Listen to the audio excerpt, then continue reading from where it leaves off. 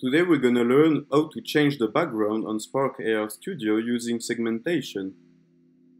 First we have to open Spark AR Studio, then create project,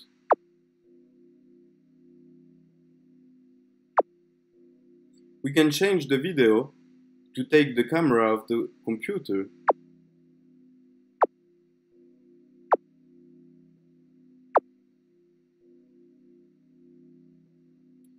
Now we can insert two rectangles, one for background and one for the person. Rectangle, insert. Click on Fill Parent to take the full size of the device, your camera, your phone, etc. Then we can insert another rectangle So rectangle 0 will be the background and rectangle 1 will be the person. Rectangle 1, fill parent, then create the material.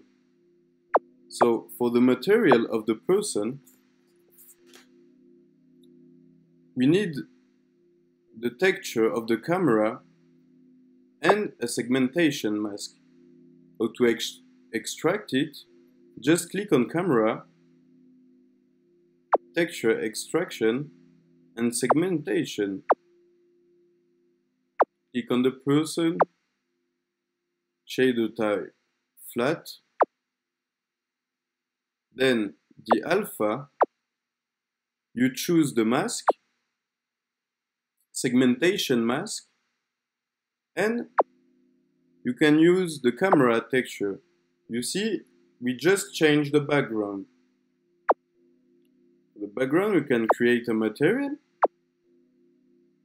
This one.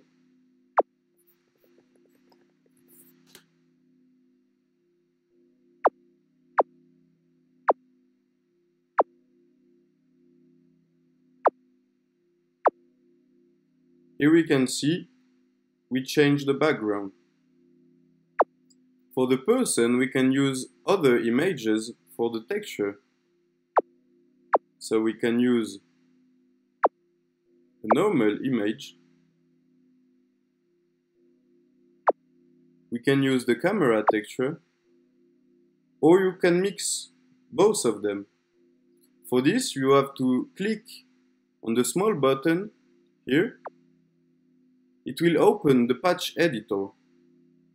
So for this we have to mix the camera texture and the image you want to mix.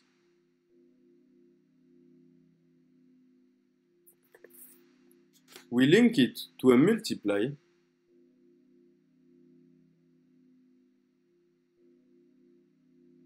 and then you see we just mix two image and use as a texture. Thanks for watching